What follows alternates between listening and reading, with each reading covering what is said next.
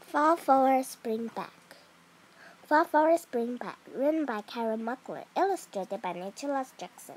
Focus question What does Noah learn about daylight saving time?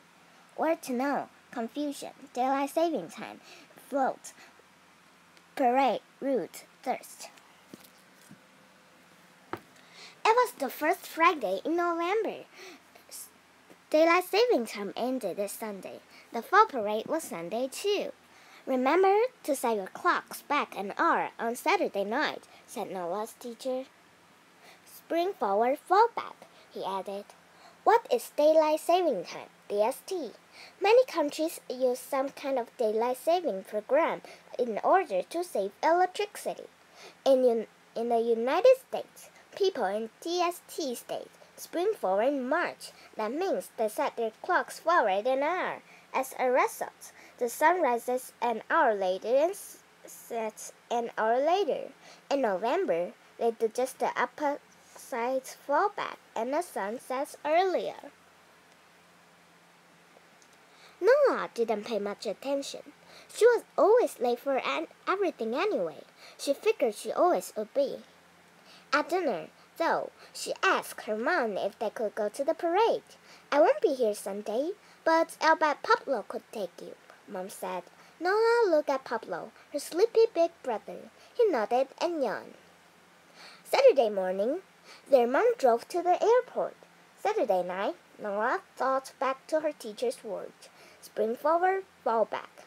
Or was it fall forward, spring back? Fall forward sounded better, so he set her clock forward an hour. Just like that. It had passed her bedtime. She was late again. Time is not my friend.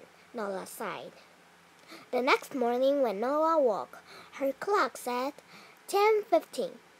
The parade began at 10 o'clock. Nola and Pablo ran to the parade route, but there was no parade. It seems they had missed the whole thing. They turned and headed home. On their way back, they spotted their neighbor Frank. He was climbing around next to an eight-foot pumpkin float.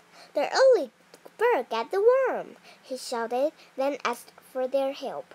They worked on his float for more than an hour. Then Frank clapped his hand. Let's get to the parade, he cried. Noah and Pablo blinked in confusion. Wait a minute, Noah said. Wasn't the parade at ten o'clock today? She asked. Was at ten? Frank asked. We'll be at ten. It's more like it, he cried. He thrust his watch toward him. It's at nine thirty. Noah laughed for joy.